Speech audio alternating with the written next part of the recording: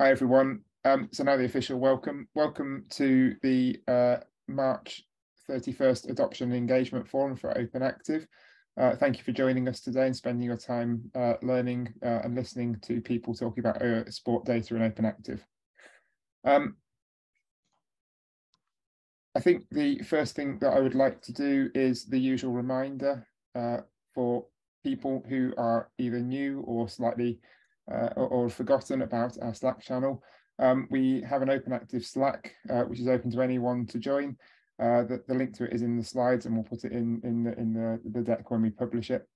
Um, but on Slack, we have an AEF forum where there is some conversation happening. Uh, you're welcome to join that.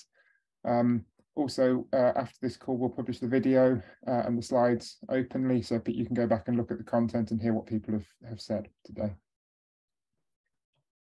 In terms of the agenda today, um, we've got Ross Gehring joining us, who's going to talk about the Squash Player app uh, and the work he's been doing to improve the availability of data around squash. Uh, we've got uh, Liz, uh, Liz Clark from Sport England, who's going to tell us all about active places. Uh, and then Charlie's going to give us a quick update on the steering committee. Um, and the steering committee was yesterday, uh, and they had quite a lot of discussion about governance.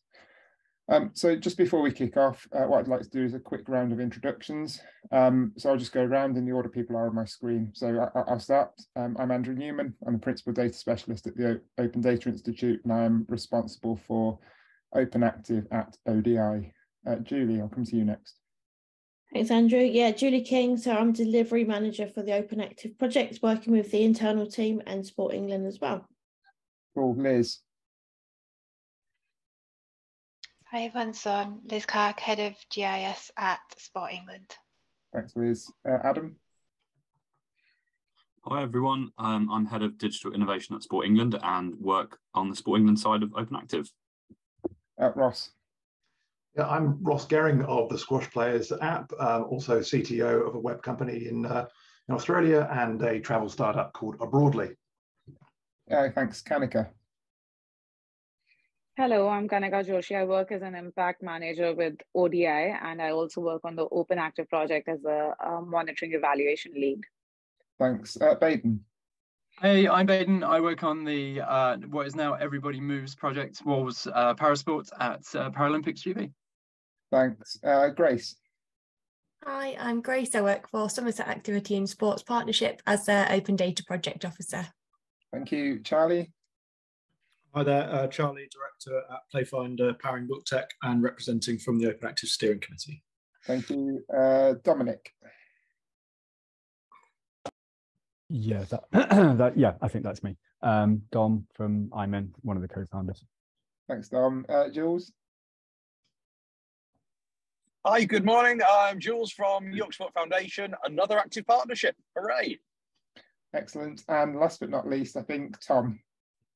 Hi everyone, Tom Marley played, um, yeah, consume and publish open data.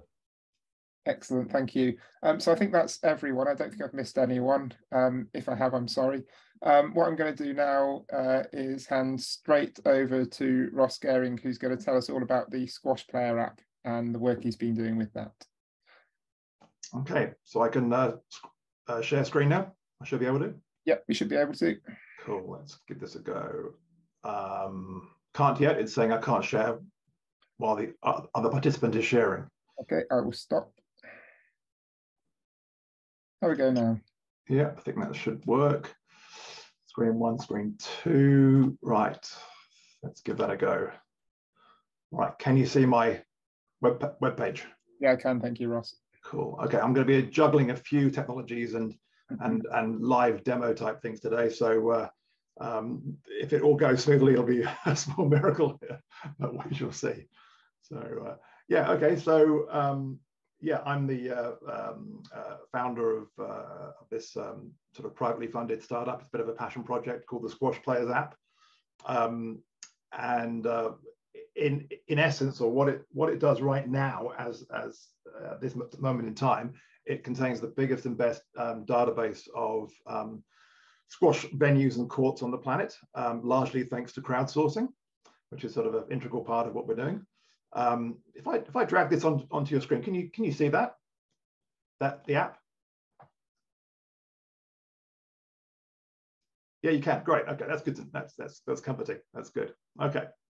So um, I just thought um, if you want to, I've got three trivia questions just to wake you up this morning.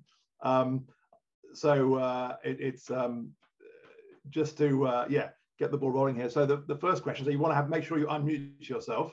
So um, which which country in the world has the most squash courts per capita? Anyone? I'm going to say Egypt. No, no, lots of players, not so many courts. Oh, the US. Nope. It's going to be somewhere weird, isn't it? Like, I don't know, India well, or. The, or the male, someone reached, um, someone from this country reached number one briefly in the rankings recently. Ah, I'll give it to you, New Zealand.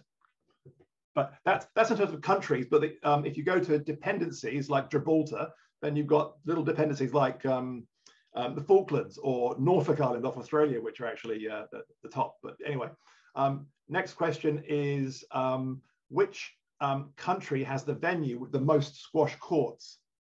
Sorry, yeah, the venue with the single venue with the most squash courts. No, no idea. Someone who works in facilities, I'm embarrassed to say. it's in it's in Poland. It's got 32 courts in the Hasta La Vista Center. And uh, last but not least, I've got a, um, a, a, trick question for you, and I think uh, one or two of you in discussions might have heard this already. What's the lowest squash court in the world in terms of height above or below sea level? I'm going to say either Dubai or the Netherlands. There's two two uh, tricks in the in the in the title there. Sea. There's got to be one underneath the sea in Dubai. Yes, below sea level, and it's the Titanic. At not, I didn't say operational. 3,800 meters below sea level, which happens to be coincidentally the height the, of the highest court above sea level in Bolivia. Um, anyway, so that was a little, little bit of trivia for you. Um, okay, so a little bit of um, uh, background to the app. So um, uh, a few years ago, my company, Itomic, um, we were looking to get more into mobile app development. And um, we, we were having a good look at the different technologies for that. And we found a technology, a new one uh, in, in, beta called Flutter by Google. And I got a screenshot of it here somewhere. Oh, I can't move that tab, that's all right Let's try and do this. Yeah, Flutter. So is the technology behind the, the, mobile app. It's backed by Google. So we wanted to have a take this for a spin. I used to develop um, Squash League management systems some years ago, and I had sort of unfinished business with Squash. And um, so we gave this for a spin. I said, oh, let's try and let's try and build a simple um, um, sort of record book, you know, logbook for keeping squash scores, just to have a play with the technology. And of course, the logbook is, um, you know, who you played, when you played, what the score was, and where did you play. Um, and the first three are, you know, pretty straightforward between the, the players. Um, but um, the fourth one is um, where did you play? And um, and we're like, okay, well, how do we make sure? Being a, a, data purist, I didn't want to. I wanted to make sure that people were recording it at the the same venue, not like different random addresses for the same place. Um, so I went in search of, you know, good quality um, sources of, of, squash venue data, and I found it really lacking on a global scale. So um, you know, two, three of the of the top countries in the world, be England, Australia, not too bad, um, but then it falls off a cliff rapidly. Um, so you have things like, I mean, this is a um, one example. This is, this is the World Squash Federation. So they have a total of 14 courts for the UK um, on their database. That's a yeah, just a, a very poor example of um, very lacking data. You know, from the very top level. Um, also some very um, very poor statistics generally about squash we, we noticed so for example one of the biggest jokes in squash I'm, I'm i mean i love squash can't play anymore dodgy ankle um, but um, one of the big biggest uh, yeah jokes in squash is that uh, on wikipedia it says that there are about 20 million people who play squash regularly. Maybe about 20 years ago. Um, unfortunately it's a, a, lot less than that. I think it's probably closer to oh yeah three or four million maybe. Um, but uh, yeah, so generally uh, we noticed a really big um, you know, lack of decent data in um, with squash. So um, so what we said about building was we thought, okay, um, how are we going to improve this situation? And we, we decided that crowdsourcing um, was the best way to, with engaged communities to help us um, add venues um, in, into the app. Um, now I'm uh, the uh, just seeing if I can screencast. It's still going on and off again. Uh, let's give it a go. If I can, if it doesn't work first time, I'm going to abandon it. But let's things and yay, it's back on. Right. Da -da -da let's pull it over here. Um, so so yeah, look it. Um, here's the app on my screen right now. I've got it preloaded on on. Uh, it just shows you the local courts. Um, well, physically, physically where I am right now. Um, made it super easy to add anyone to add courts. Notice that you know we, have definitely gone for the whole mobile first thing. So you can't actually add um, courts via a web uh, interface right now. It's all through the, the app. So I'm just going to click on the the plus button bottom bottom right. Um, so what it does is first of all it's hooking into the um, Google Maps uh, or Google Places API. Um, so what it, so yeah, what you're getting here is straight from Google Google Places.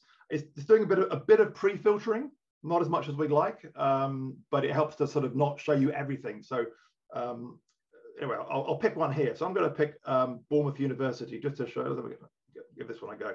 So what you what you can see here when I pick that from the list, it's instantly pulling in the base data, which is all grayed out from um, Google Maps um, it's worked out that it's um, in fact a in the category of college or university. And then you can add more information if you like. But if you do nothing else, that's all you do. You pick from the list and go, that's it, done. Um, if you choose to add extra data, great. Um, obviously, we'd like to know how many courts it's got, that sort of thing, but um, that's that's optional. So I can just click click add venue here. And it's now gone into um, you know manual review.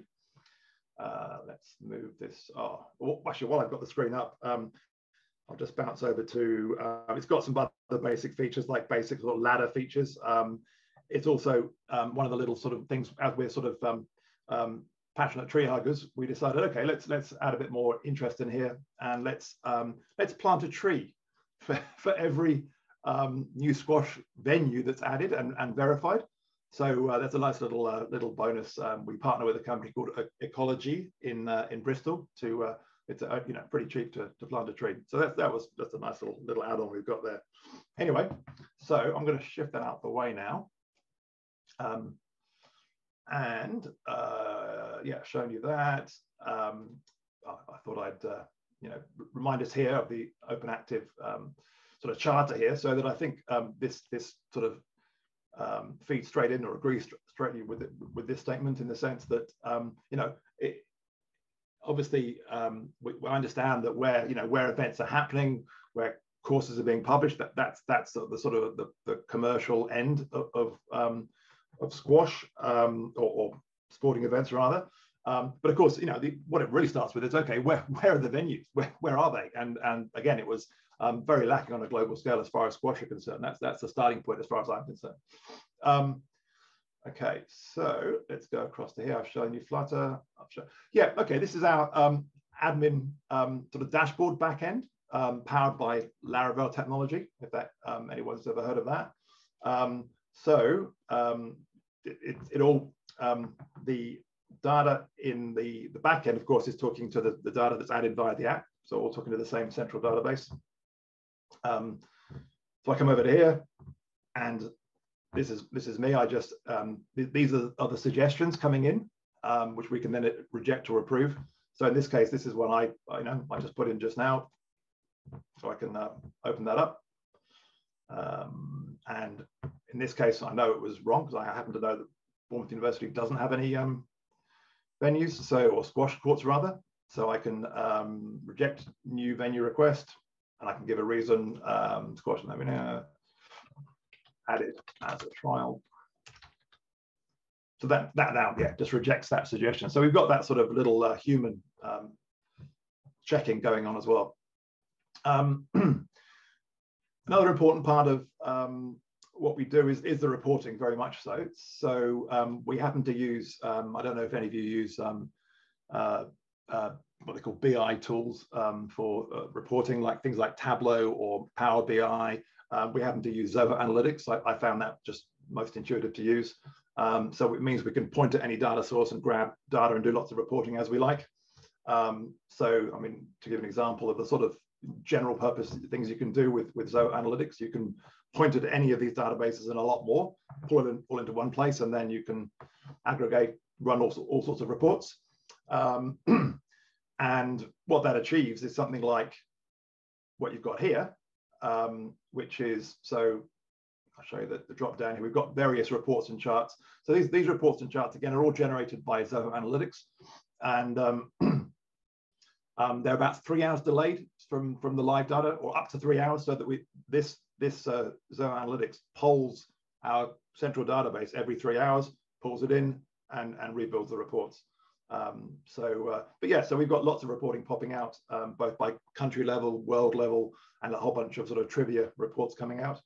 Um, so yeah, you could obviously change this to, you can filter by all these different categories.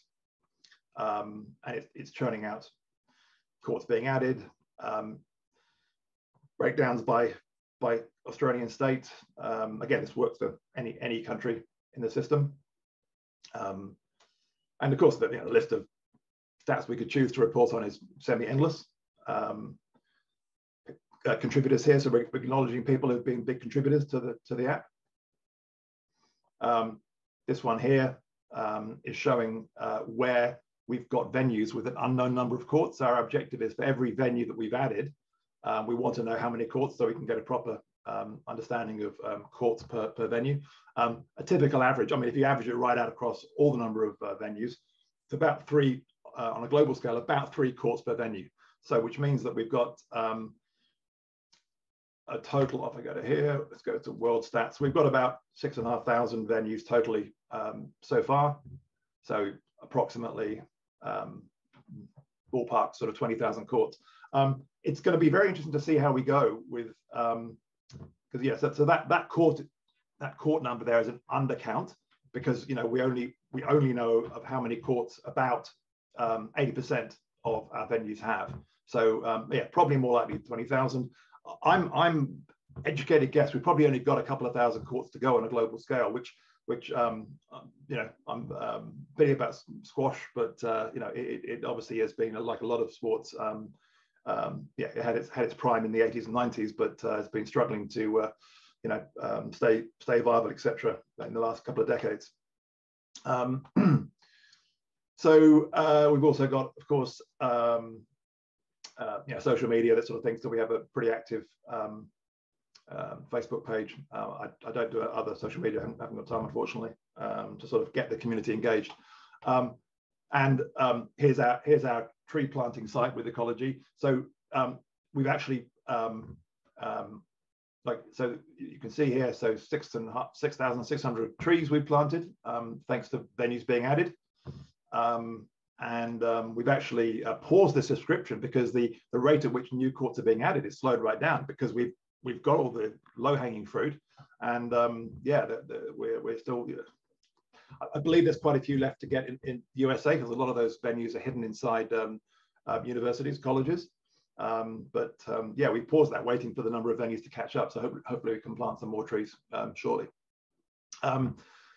So just just a quick recap, I can probably stop sharing now. Um, stop share.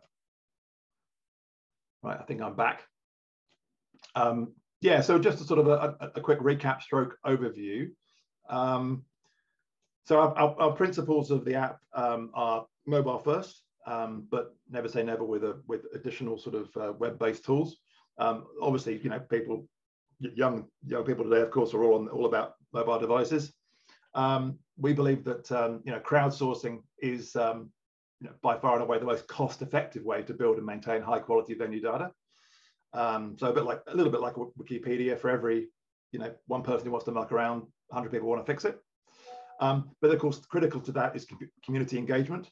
Um, so you know, community needs to know about the app, which is getting out there. So we're looking to we're very variously partnering with sort of various squash bodies to, to make sure they recognize and, and they do um, this source as the authoritative source for squash venues.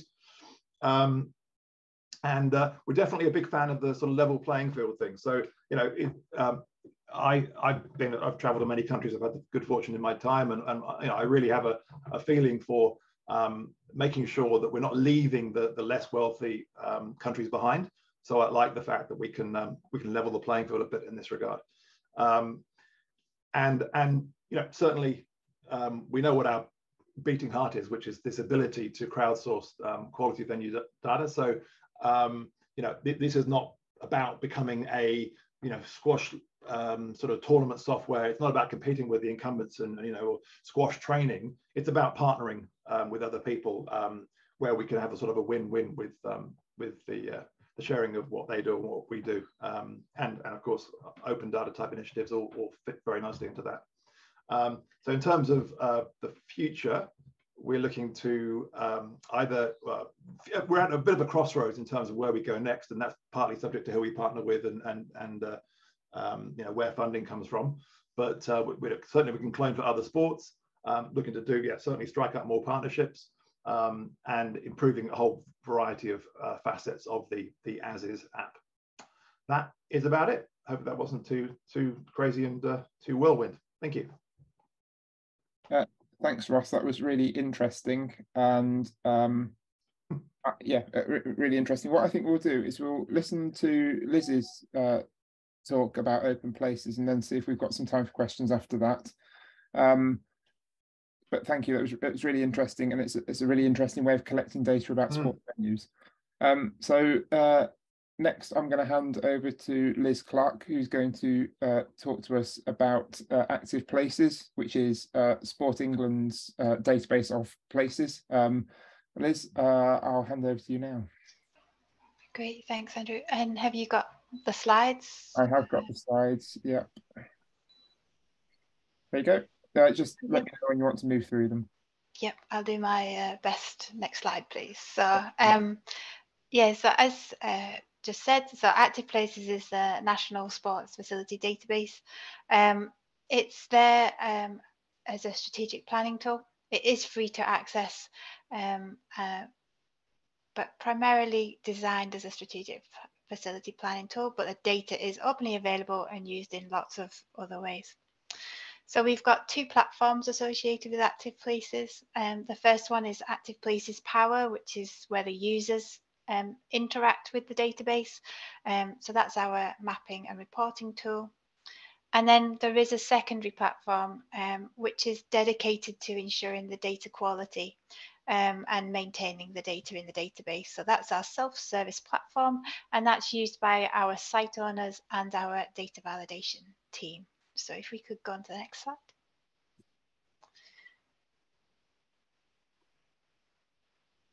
So um, Active Places Power is that front end. It's where users go. It's where our tools and um, and all of the tools and reporting to create that evidence base are based. Um, when you get these slides, that picture on the right of the brochure is clickable, so that should take you through to our brochure.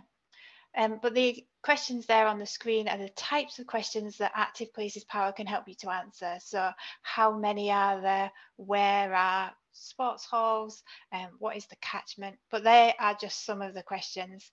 Um, there are a lot more. So if we go on to the next slide.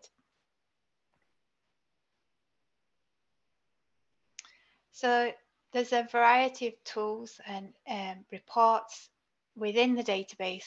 They really are helping to answer the what. So what is there in terms of sports facility, um, the where, so the locations, there's a lot of mapping in there.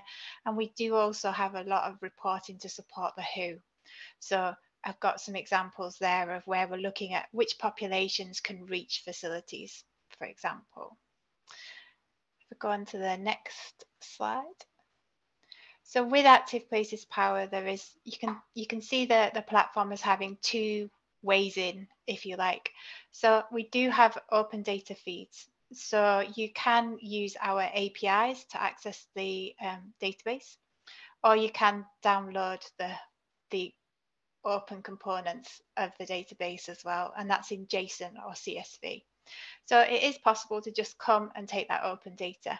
We would recommend that if you do that, that you um, register for the platform because as soon as you register for the platform, then we can send you um, breaking change notifications. So we will always notify you if we're going to make changes to those APIs in case you do have important system dependencies. The web interface, so that's where most of our users will go. Um, that's a you register. It's free to register. The reason we add the registration step is it allows us to um, confirm who's using the platform, to understand our users, to communicate with our users, but it also helps us to protect the platform as well and just um, fish out those um, spam uh, type uh, registrations.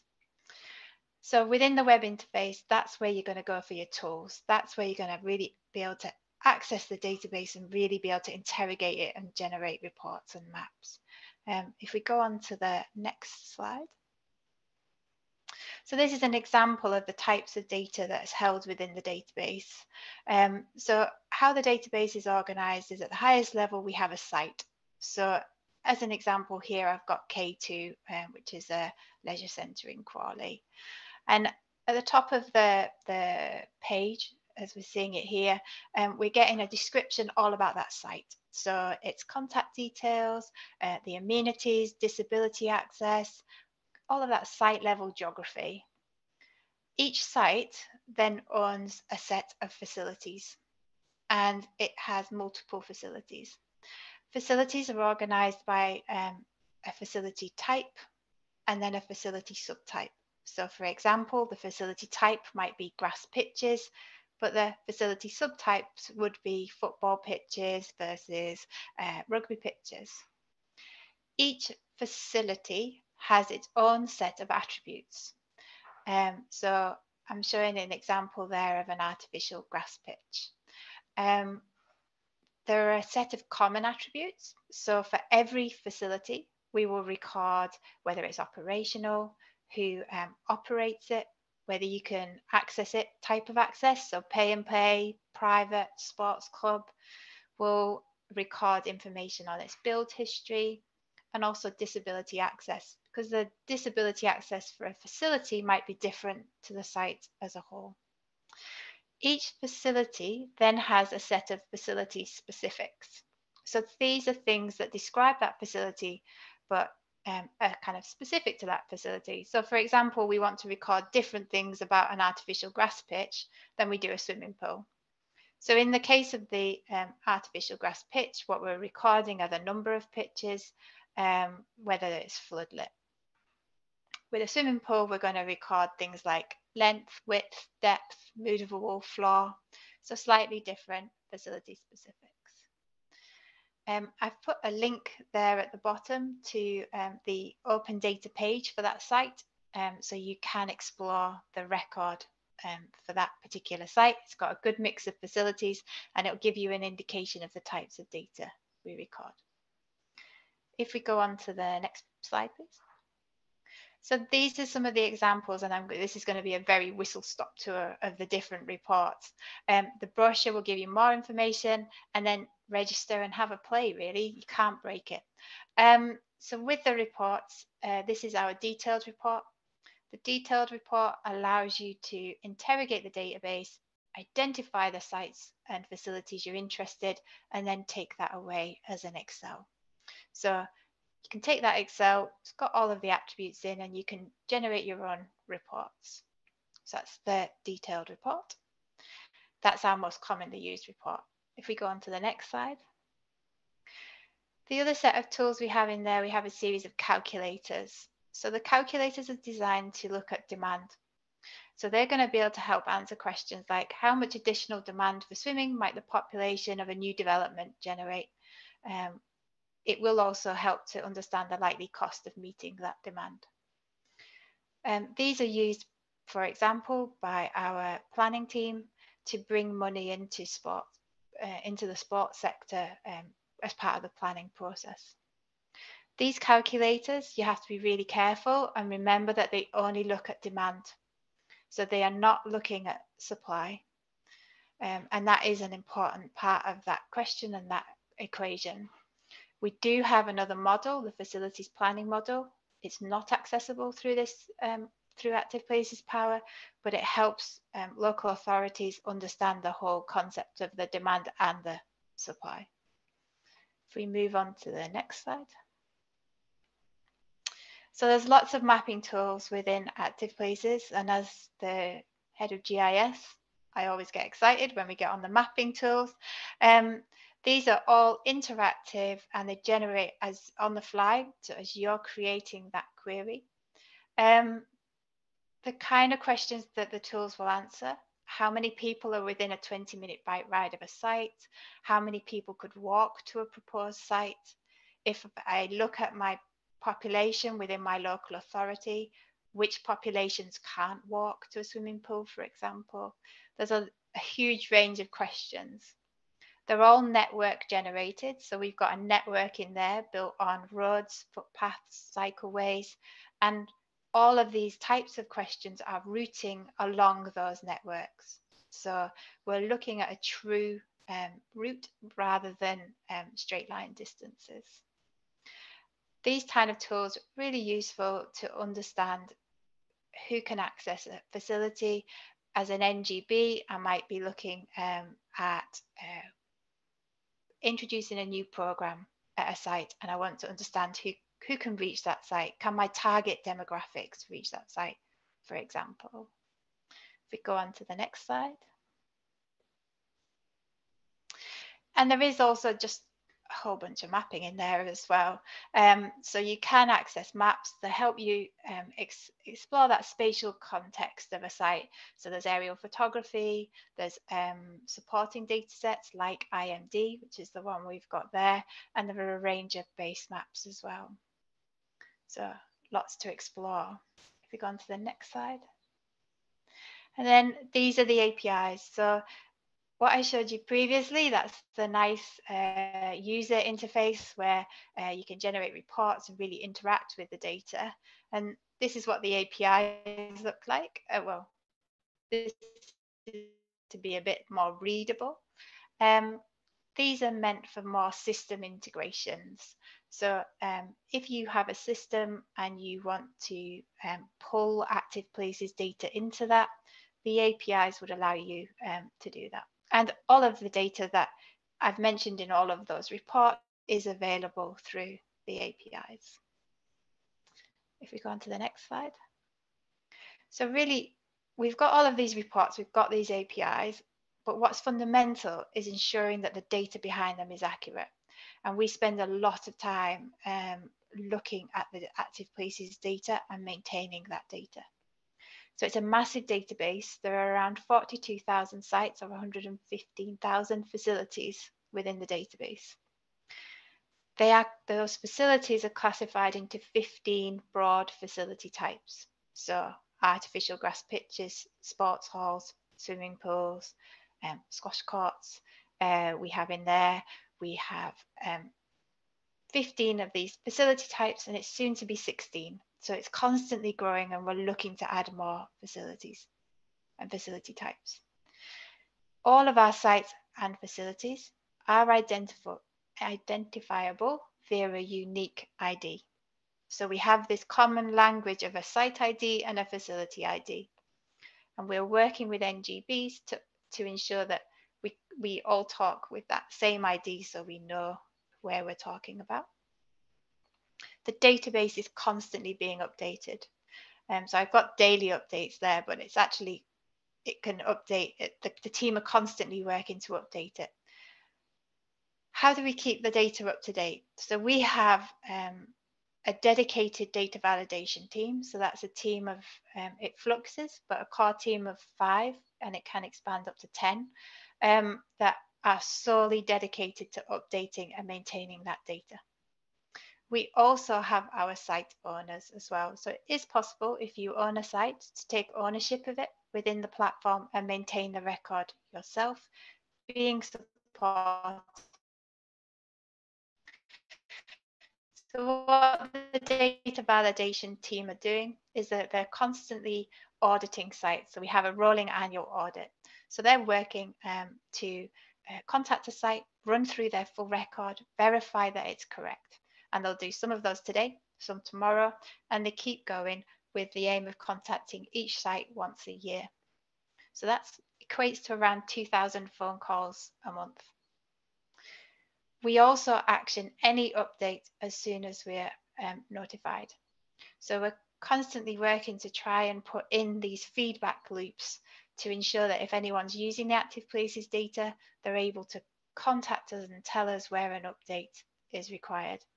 And that's something that we're working on a lot at the moment to try and automate that and get some, um, yes, these automated kind of feedback loops in to allow us to really streamline that update process. So on the whole, we think it's very accurate. We're constantly working. It's there as a resource for the sector and it is published and I've, I've got the open data license there. So I think the last slide really is just to emphasize that this really is, it's owned by Sport England, but it's really about the community and we couldn't um, keep the data up to date without the support of our users, our site owners, leisure providers, NGBs. So we're all working to maintain that um, data within active places I think that was me. Thank you. Excellent, thank you. That was uh, really interesting, uh, and and uh, I, I, think the contrast between uh, Ross's presentation and the data that he showed us that is crowdsourced, and the kind of Sport England approach, uh, where you are uh, kind of managing data in a perhaps a slightly more controlled way. Maybe that's not the right term. Sorry, Ross. it's really interesting. Um, so I think we've got a little bit of time for questions. So if anyone's got any questions for either Ross or Liz, do you want to stick your hand up or put something in the chat?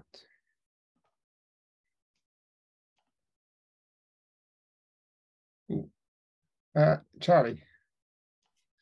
Yeah, thank you, That's Really, really interesting and helpful. I've been aware of active places for a long time, but um, it's definitely cropping up on a in an almost daily conversation at Playfinder at the moment. So um, really useful to um, get that get that summary. Just a really novice question that I'm sure I could find if I did a quick Google or, or went onto the website. But do do you identify a space on a facility um, any differently in your site and facility ID um, language? And by a space, I mean a 3G pitch potentially being broken down into a, a single full size pitch um, or three three thirds, four quarters of smaller um, five side and other sized um, spaces? It would depend on the facility, but no. Uh, uh, in general, it's the facility as a whole. So we would have a record for the AGP and we would know the number of pitches on it. We wouldn't know how they were marked out. Another example might be a sports hall. So we would have a, uh, an attribute that said there are four badminton courts within the sports hall. So we might have that there's four badminton courts and um, overmarking for football and basketball, but we can't tell you how they all relate. So we can't tell you which ones you could do at the same times, if that makes sense. It does absolutely. Yeah, really used to the shared facility knowledge, so that you never have a full pitch booked while you've got a third of a pitch being used, so you don't get a duplicate booking. Um, yeah. No, it's really useful. I mean, to give you a, a sense of, of our work, we're, we're actually making sure um, at the moment that through our onboarding processes, when we on, onboard new venues and facilities onto our Bookteq booking system that we capture um, active places IDs and store them in our back end so that we've got a connection into, into active places. One of the medium to long term views there, we can already do this with, with our venue data anyway, is to be able to report with our venue partners and strategic partners um, the kind of social impact of a particular venue or facility. Um, so we know what participation looks like, we know bookings, we know those bookers, so we know the IMD score of the people who are booking and using those venues and facilities. Um, so it's a really nice crossover with your IMD data there as well. But it really gives us a good sense uh, with those we work with of, of yeah the social social impact of uh, participation and uh, local community engagement of a, of a venue. So just really interesting to see that crossover as well. Yeah, that sounds really interesting and great to hear that you're using the site IDs. Um, and again, happy to discuss if ever you your your users identify that their active places site record isn't quite right how you can feed that back to us, um, but also if you have sites or facilities that you want to add that you don't have an active places site ID, again, we would add, we can look at adding them into the database so we can establish a feedback so that you can say to us, okay, we've been approached by this school and it's not on your um, thing, could you add it?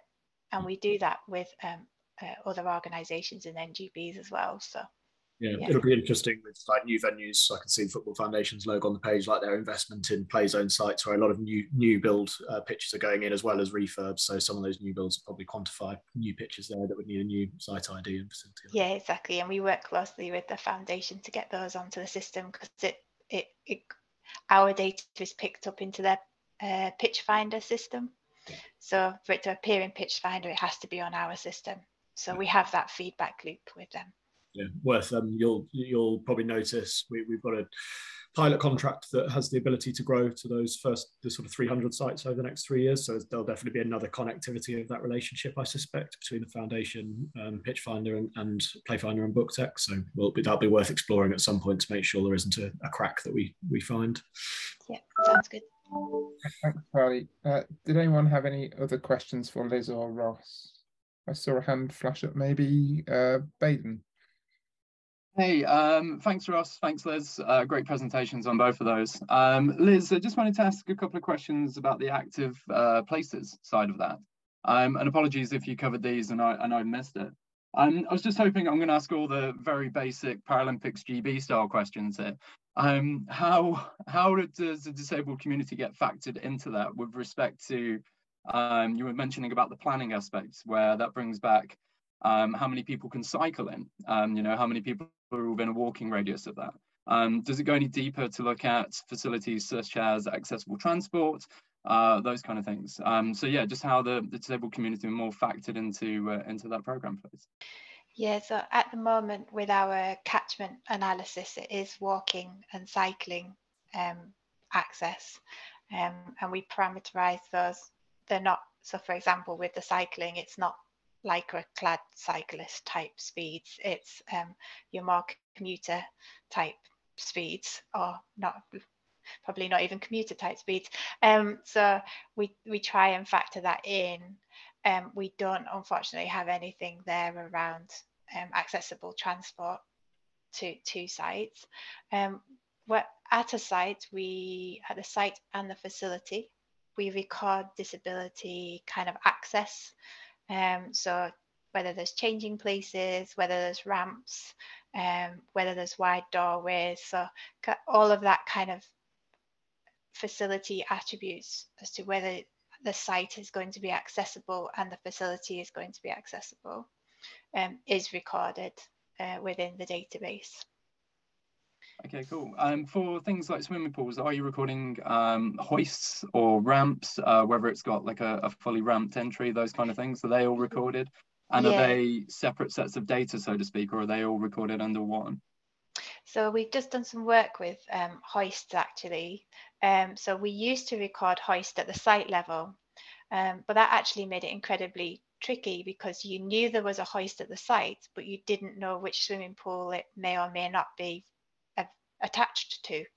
Um, so what we have just done, in, and we, we did that in December, was we moved the hoist uh, information down into the swimming pool so that it's actually attached to the facility itself. Now, what that means is if you went in the database at the moment, you might find a lot of don't know. And that's because in effect, we've now got to recollect all of that information because we used to know that there was a hoist at the site, but we now don't know where that hoist relates in terms of if it's got multiple pools.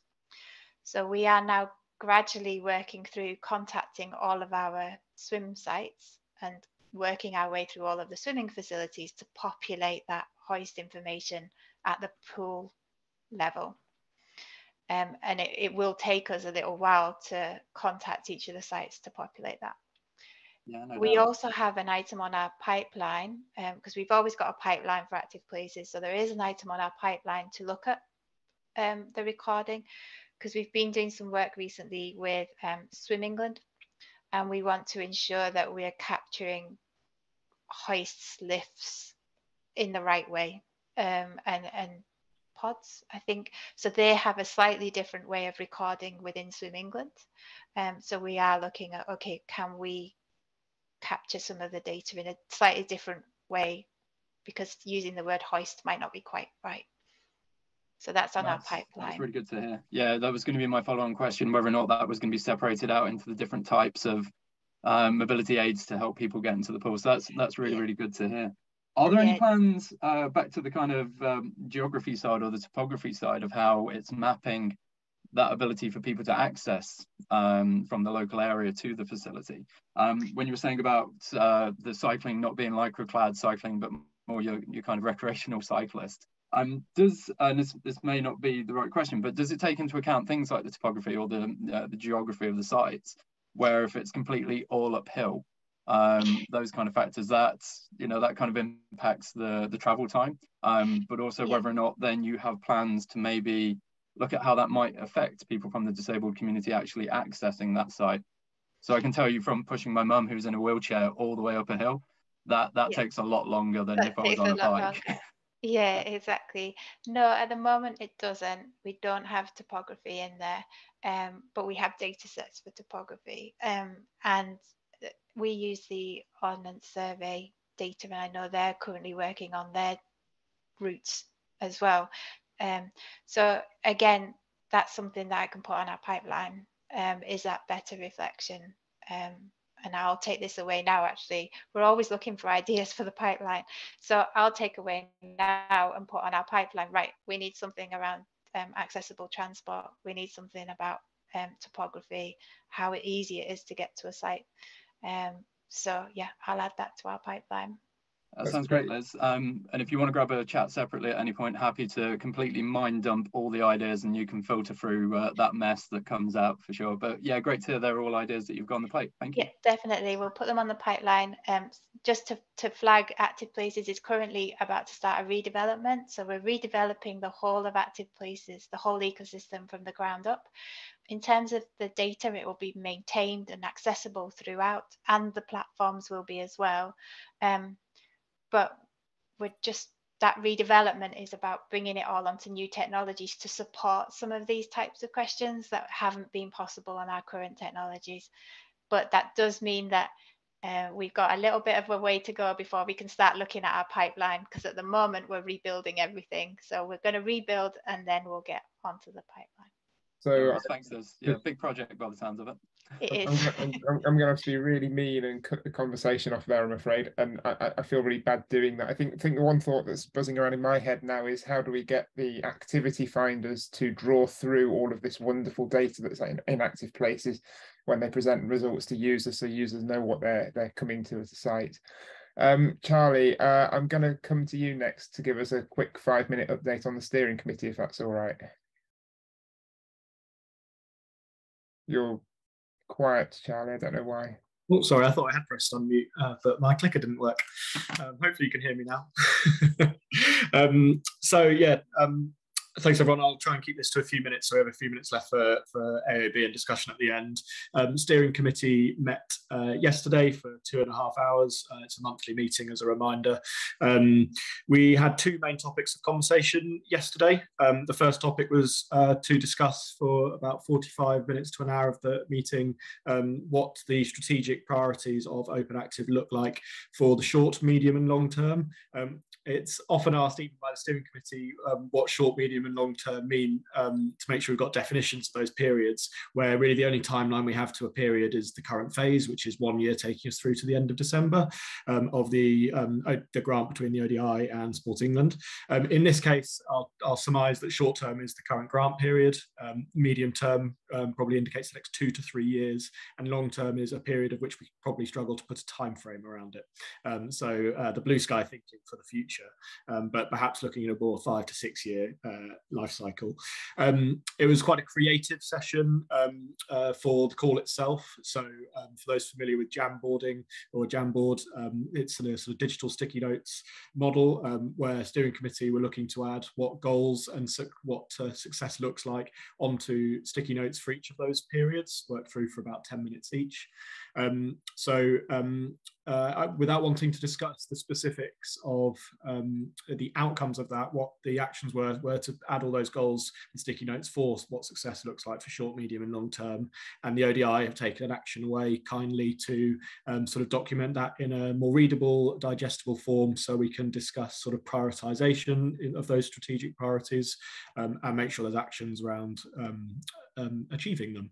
Uh, I would hope, uh, don't want to put anyone on the spot here, Julie, I'd welcome you coming forward if you want to to comment on when, when if we want to publish it, publish more information on that. But I suspect there will be an ambition from steering committee in the ODI once we've managed to, to document and then discuss at steering committee, perhaps at the next session or, or one after that in, in April or May, um, that that could be something that's later published um, in the in the community. But as I said, I don't want to put someone on the spot because we, we haven't had a chance to discuss the kind of second and third follow-on steps from that particular session. Uh, Andrew, Julie, welcome to step in on that. If something you want to add? Uh, no, I, I, I need to do a bit of work with Julie to work out exactly how long it will take us to do that. Um, and yeah, I think we will bring something back to a future steering committee. Uh, the April committee is already looking quite busy, so it'll probably be the May committee when we come back with our kind of summary and proposal. Perfect. Um, uh, and then the second and most perhaps most important topic of conversation um, was about designing the future organizational model for Open Active. So um, uh, some of you will have uh, seen and kindly engaged with the uh, community survey um, that was out through the month of March um, and a town hall that I believe happened on the, around the 10th of March, second or third week of March um, uh, which was to collect community feedback on the process to define that um, uh, future organisational model. Um, so again, this is one of the work streams of phase five that the ODI are leading, um, and hopefully it's explicit what it says. But what, what uh, to remind everyone of how Open Active is um, uh, organisationally set up today. Um, Open Active is a, is a defined project that uh, is hosted within the ODI that the ODI then work on as with a, with a dedicated team, which we've obviously got a couple of members with us today. Um, and much of that work is funded through the grant that Sport England uh, are kindly funding as the as the sole current sole funder. Um, so what this is about is looking to the future to go, is that the um, uh, operating model that the steering committee and the community want for Open Active? Um, and if not, what might other um, options look like to be discussed? So the ODI workstream has taken into account looking at other similar um, uh, open data kind of uh, initiatives and environments, um, which several case studies have been looked at and documented to see what look at those op operating models, look at their business models, um, uh, so we can infer learnings from those to, to bring into to the future operating model of Open, open Active. Um, they, we've taken the community survey into account as well as the town hall um, and turn that into the best qualitative and quantitative data we can um, to steer insights from the community. I think an important note that this as a community-led initiative um, that uh, the community's opinion is right at the heart of um, what their future operating model might look like. Um, and the third sort of uh, vertical of that is taking um, formal legal advice on what the future operating model might look like and the, the impacts, advantages, advantages and disadvantages of the different options. And I guess the impacts on things like business models, commercialization, um, etc., that each of those would, would have a, an impact to, including where future funding might come from that might not be from um, solely Sport England and, and the restrictions or, or non-restrictions of that. Um, the three um, options that are, are, on the table um, and on table for discussion. Uh, and I would add with this, it's layers and layers of complexity, but um, uh, there are lots of different ways Open Active could and would look uh, even within these models. So this is perhaps an oversimplification, but one, one option is to continue as a project that is hosted within the Open Data Institute. Um, another option discussed is for Open Active to become an independent subsidiary um, of, an, of an existing organization, which could uh, be the Open Data Institute, but could well be a, another third party organization. Um, and the third option is for Open Active to become a new standalone um, independent company. Um, I think I would speak to these companies generally likely to be um, uh, non-for-profit organizations or charities as, the, as being general, but not wanting to go into the detail of that quite at this point. Um, so the report, as I say, looks at the advantages and disadvantages of those three, um, considered the business models, restrictions and community view. Um, to summarise the conversation yesterday, um, a decision taken, uh, that being the first discussion by the steering committee on the, the report and the recommendations from the ODI's work, um, was to continue as um, we are today for the time being. Uh, and for the time being, we're really talking about phase, phase five, so hosted as a project within the ODI. there was a planned month of work in the month of April to uh, the roadmap for implementing the model that was decided on in that meeting. Uh, because it was inappropriate to, to rush to a, such a major decision in one session, um, uh, we also decided, voted on and decided that that month of work, instead of being used to map out the roadmap on the decided model, is to map out the roadmap for uh, move, the, the view to moving to an independent subsidiary of another organisation.